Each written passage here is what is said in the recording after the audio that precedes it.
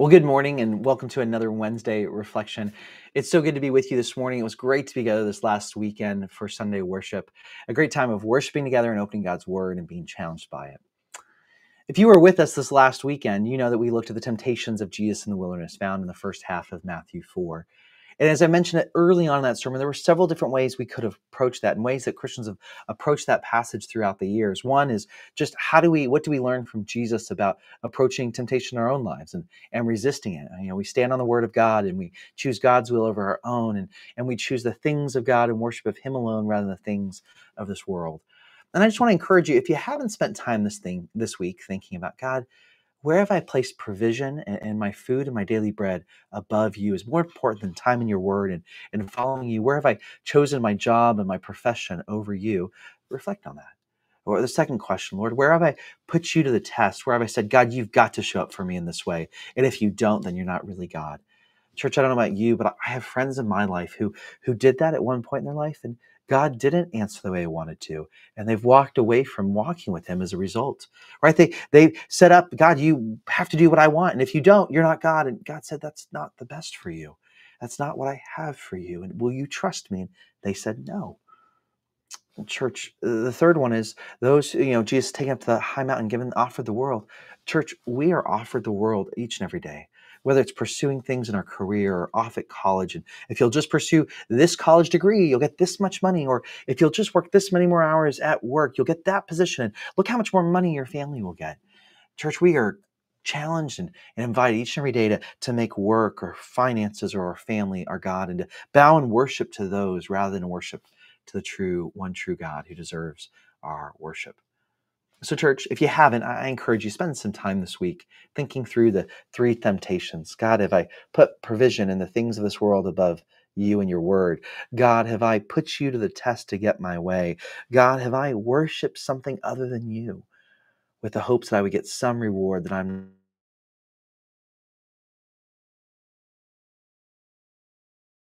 so want to encourage you to ask those questions.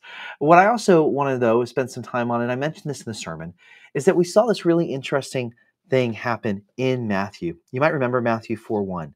Then Jesus was led by the Spirit into the wilderness to be tempted by the devil.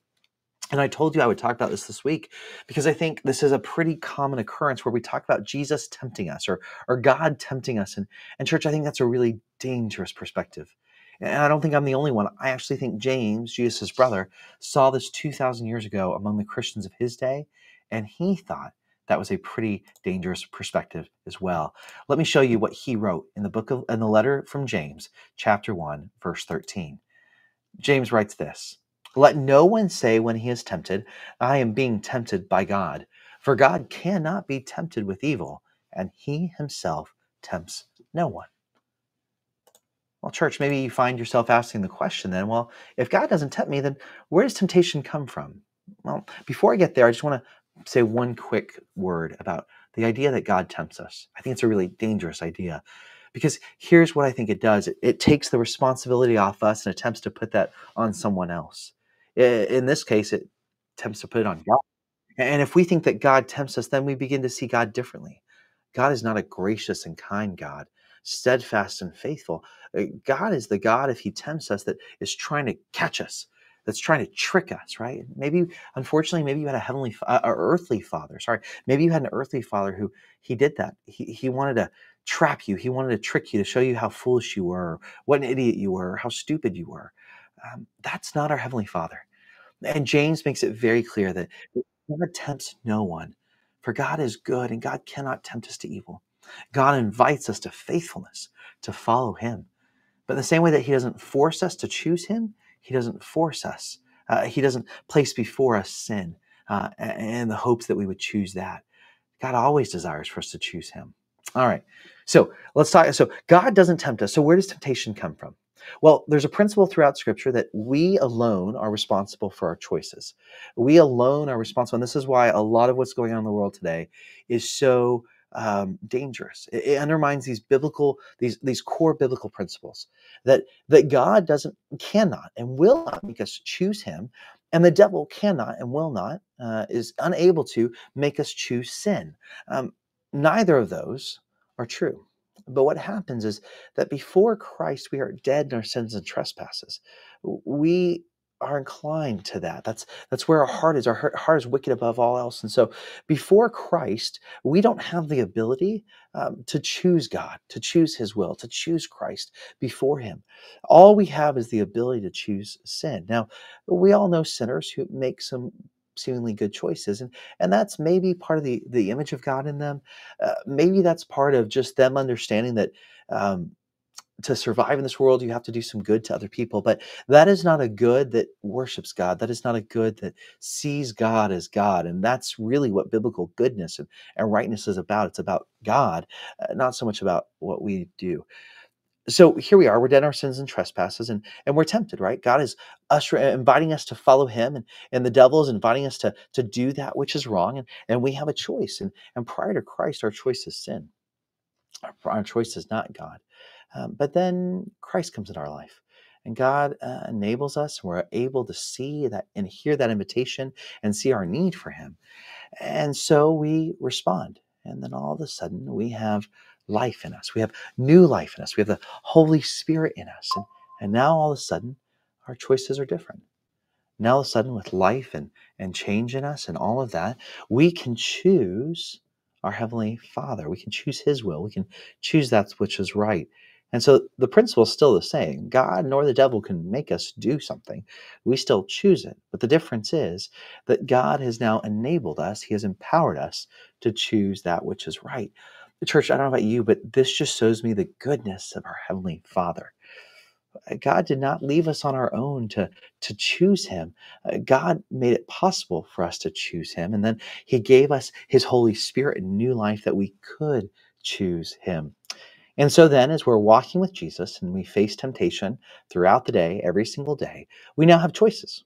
Are we going to choose sin? Are we going to choose the flesh? And the devil's still working to tempt us towards that direction away from God. The, the Lord is still inviting us to follow him. The differences here, though, are profound. Now we're doing that in newness of life. Now we're doing that empowered by the Holy Spirit. And now we're doing that no longer chained to sin, no longer in bondage to our sin, church, I think sometimes when we think we're still in bondage to sin, though we know Christ and we've experienced new life and have the Holy Spirit in them, I think what's happening is that chain is simply laying over our feet because we haven't moved. But that chain is no longer locked around our ankle. We just think it is because we see it there still. We are no longer in bondage to sin.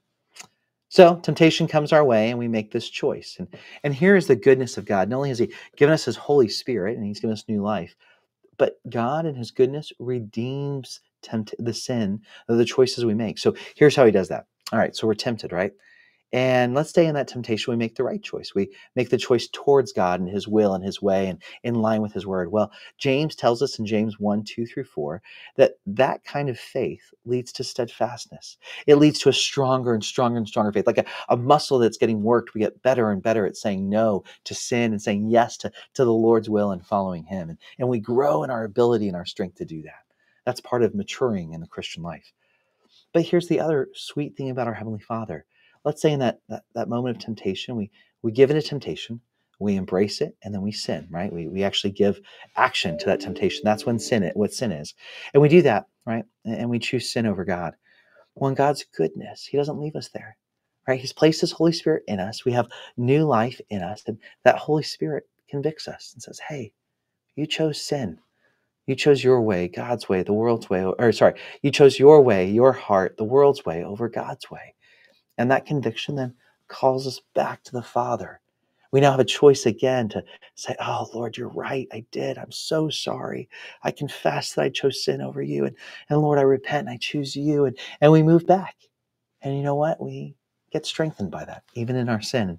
And now, next time, hopefully, the Holy Spirit brings to mind what happened last time. No, I'm not choosing that time. I'm choosing righteousness and we might fall back. But but here's the beauty of being a child of God. God doesn't leave us in our sin, nor um, does God uh, leave us on our own. It's like, oh, you chose me, now you're off on your own. No, Holy Spirit still working on us. Now we may harden our hearts to Him, we may deafen our ears to Him, we may say, nope, I'm sorry, I'm staying, I'm staying in my sin, and and that becomes very hard to, to break out of. We build some habits and we build some ruts that that are hard to break. Though the Holy Spirit can do it if we will relent and bow our knee to the Lord once more.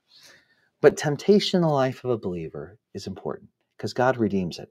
Either we say yes to God in that moment of temptation and no to sin, and we strengthen and we mature, or in that temptation, if we say yes to sin and no to God and we fall away, God restores us in his goodness. Now, if you think about what the devil does in temptation, he draws us away from God and he leads us to death. There is nothing good the devil does for us. There is nothing the devil offers us in sin other than a mistaken um, message that sin is good for us. Well, this is far too long already. But what I want to encourage us today, church, is the words that we find in James 1 2 through 4. Count it all joy, my brothers, when you meet trials of various kinds, for you know that the testing of your faith produces steadfastness. And let steadfastness have its full effect, that you may be perfect and complete, lacking in nothing. Church, that's God's heart for us. That's my hope for us that when temptation comes, we choose God that we might grow in steadfastness and maturity, lacking nothing. But as James says a little bit later in that same passage, in those moments where we choose to sin, where, where temptation gives birth to sin, that God calls us back and restores us, that, that God and His Holy Spirit beckons us back. And if you don't know Jesus Christ, God uses your sin to open your eyes to your need for Him. Church, we serve an incredible Heavenly Father. And I guess that's what I want to convey to you today. I want to speak truth against the lie that God tempts us, that God's trying to trip us up. I want to help you and me remember and see the goodness of God, that He called us out of our sin, that He calls us away from sin. And as we choose Him, we grow. And if we, when we do sin, He calls us back, that He restores us, that we might grow more and more into the men and women He desires for us to be. I hope that's an encouragement to you on this Wednesday. Church, throughout today, throughout tomorrow, throughout every day of your life until you see Jesus face to face, you will be tempted. There is an enemy working to pull you away from God. And there is a heavenly Father, though, has placed his Holy Spirit in you and new life in you if you've placed your faith in Jesus Christ to help you walk in faithfulness to him. And that same God who gave you that gift welcomes you back, um, calls you back when you do make the wrong choice and fall into sin. Church, let's be a, a people who walk faithfully with our Heavenly Father, who are quick to confess our sins and repent when we're convicted of them, that we might grow into the men and women God needs for us to be, to reach our, our world, our community, our family, and friends with the good news of Jesus Christ. I love you. I hope you have a great week. I'll be out this weekend, but again, Jeremy's preaching, and I can't wait to hear all about it. Look forward to seeing you when I get back. Take care.